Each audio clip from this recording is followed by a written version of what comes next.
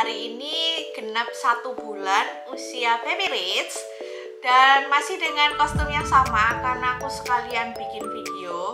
Kali ini aku mau sharing-sharing tentang operasi persalinan aku yang di mana aku operasi satu bulan yang lalu tepatnya tanggal 7 Oktober 2021 daripada kalian penasaran mendengarkan cerita operasi sesar aku jangan lupa kalian subscribe, like, dan komen video ini dulu ya. Pertanyaan yang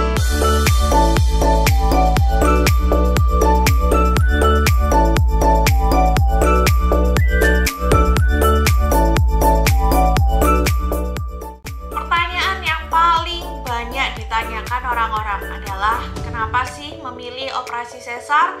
Takutkah operasi normal? Jadi aku punya dua alasan di sini kenapa aku operasi sesar.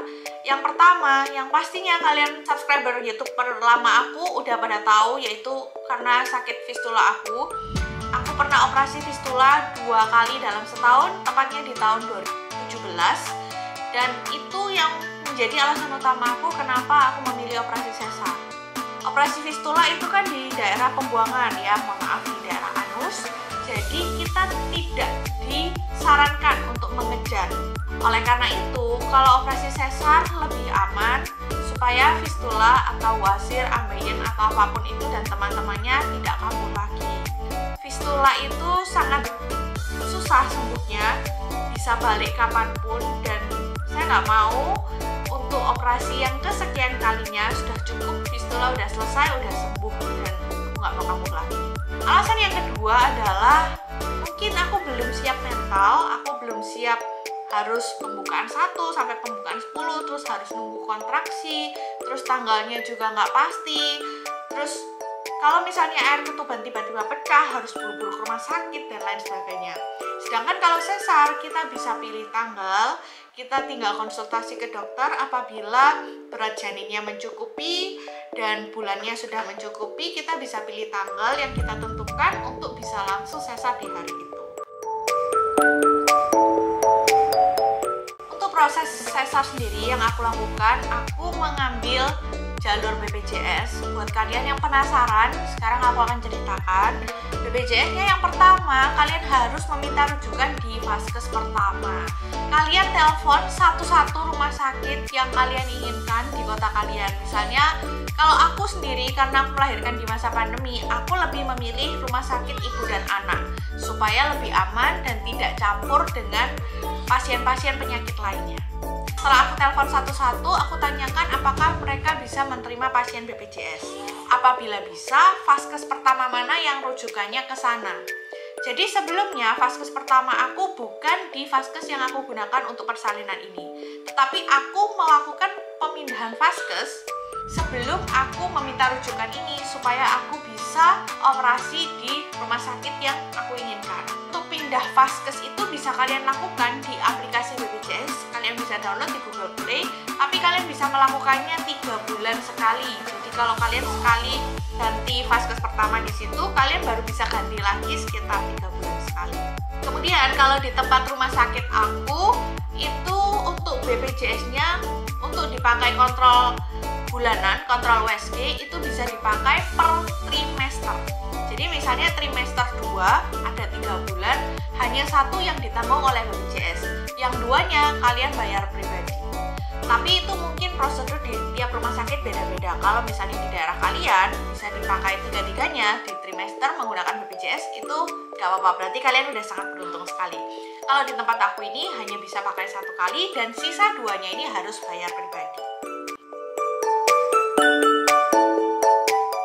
Kalau untuk operasinya sendiri BPJS di tempat aku operasi itu tidak menanggung 100% full biayanya. Tambahannya berapa? Untuk biaya dokternya sendiri aku tambah sekitar 4 juta. Untuk biaya lain-lainnya itu tambah sekitar 3 sampai 4 juta semua. Jadi in total aku tambah sekitar 7 sampai 8 juta sudah ditanggung BPJS. Kalau normal tanpa BPJS, biaya persalinan sesar itu sekitar 28 juta. Biaya tambahannya itu apa saja? Jadi biaya tambahannya itu sudah termasuk barang-barang dan alat-alat medis yang kita pakai selama di rumah sakit.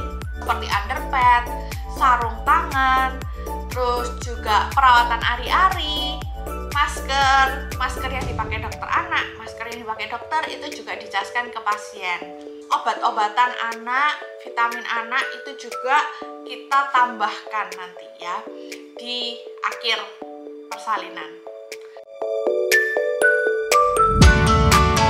Ini agak sedikit rancu ya karena di tahun 2021 ini muncul istilah yaitu operasi sesar secara metode ERAX. Apa kalian sudah familiar dengan itu? Nah sebenarnya sebelum aku masuk kamar operasi itu aku sudah bersedia untuk membayar biaya lebih. Apabila obat dari BPJS ini kurang mencukupi untuk rasa nyerinya saya bersedia untuk membayar dan sudah saya bicarakan juga ke dokter SPOG-nya saya bersedia untuk membayar lebih apabila dilakukan metode ERAX tetapi ternyata pada tagihan ketika saya biaya obat sama sekali. Hanya biaya penangkapan medis dan biaya tambahan jasa untuk dokternya. Ekspektasi saya yang saya dilakukan metode ERAX bisa langsung jalan setelah operasi dan lain sebagainya itu sama sekali um, di luar ekspektasi. Jadi saya dalam waktu 24 jam itu masih dipasang kateter masih di atas tempat tidur tapi keesokan harinya setelah saya sudah selesai infus sudah lepas kateter saya baru boleh miring kanan dan miring kiri. Dan rasanya tuh aduhai pokoknya ya rasanya tuh mantap sekali. Itu rasanya lebih sakit dari operasi fistula saya baik yang pertama maupun yang kedua saya miring kanan itu jerit-jerit sekali. Miring kiri juga jerit-jerit sekali apalagi um, setelah beberapa jam setelah lepaskan kateter itu saya disuruh belajar duduk belajar jalan saya juga harus ke toilet sendiri. Itu tiap kali saya berdiri untuk ke toilet itu benar-benar harus pegangan ranjang atau pegangan suami saya. Kayak mau jatuh gitu. Apa namanya itu? Pinggang dari perut itu udah hilang rasa biusnya udah kerasa sakit uh, rasa sobeknya itu juga terasa walaupun masih diperban itu terasa sakit sekali. Itu nyerinya kalau 1 sampai 10 itu 10 ya. Sakit banget menurut saya. Kalau misalnya saya tanya ke teman-teman lain mungkin ada yang sesarnya tuh gak sakit sama sekali. Tapi yang saya alami ini sesarnya benar-benar bikin trauma bikin keinget rasa sakitnya itu gak terlupakan Kemudian saya ada cerita ke satu teman saya dan dia menyarankan obat yaitu Durogesic Meds. Mungkin kalian juga pernah tahu ya, jadi itu kayak koyo yang katanya kalau ditempelkan di bagian perut kita itu bisa mengurangi rasa sakit. Cuman saya browsing harganya cukup mahal dan saya oke okay, saya coba untuk berjuang berjalan duduk tanpa menggunakan Durogesic Meds itu. Tapi keesokan harinya saya dikasih obat minum, saya Ponstan, dikasih asam mefenamat itu udah mendingan. Begitu obatnya reaksi obatnya itu habis itu mulai sakit lagi. Dan itu berlangsung sampai kurang lebih satu minggu. Gimana caranya keluar dari rumah sakit? Aduh itu saya bawa bayi naik mobil saya duduk di tengah dan duduk di depan. Itu bercucuran air mata sambil nahan sakit bekas jahitan sambil gendong bayi 3 kilo. Aduh mungkin ini terkesan lebay ya buat kalian yang mungkin um, operasi sesarnya nggak sesakit ini tapi beneran yang saya cerita ini apa yang saya alami. Sampai satu minggu itu yang saya alami saya tiap mau bangun tidur pindah posisi ya terutama dari tidur ke duduk duduk ke berdiri itu yang terasa sakit sekali. Kemudian saat batuk kemudian saat um, mau bersin itu juga terasa sakit. Mulai dari um, dua minggu rasa sakit itu berangsur-angsur menghilang. Di minggu ketiga dan minggu keempat itu saya sudah merasakan nyaman. Duduk ke duduk duduk ke berdiri itu masih sakit.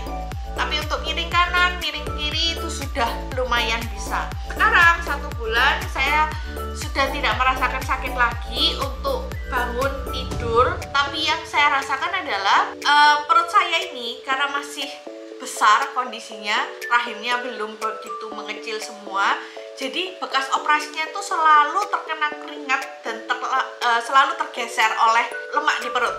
Jadi itu yang bikin gak nyaman. Kadang tuh orang bilang rasanya itu sengkring-sengkring. Nah kayak gitu. Jadi rasanya tuh sengkring-sengkring itu masih ada. Tapi oke okay, nggak begitu mengganggu dan nggak begitu bikin tersiksa seperti awal-awal. Aku tuh masuk ke kamar operasi persiapan tuh sekitar jam 7.45 jam 7 oh berarti aku masuk ke kamar operasi itu jam 6.45 persiapan. Jam 7 kurang lebih aku masuk kamar operasi dan jam 7.40 itu bayinya udah keluar udah oe-oe. Dokternya tuh baru datang sekitar jam 7 lebih 10 jam 7 itu aku udah persiapan. Tangan aku kanan kiri ini udah di um, seperti diikat ya tapi nggak seret diikat yang kanan ini kalau nggak salah oximeter terus yang kiri ini untuk ukur tensi dan di atas juga ada monitornya untuk memantau kondisi pasien juga pakai masker selama di ruang operasi juga. Aku tuh lahiran di bulan Oktober tahun 2021. Pasiennya sendiri itu perlu swab PCR. Waktu itu harganya sekitar 495.000 dan untuk penunggunya itu harus swab antigen. Antigennya waktu itu sekitar 100 ribuan.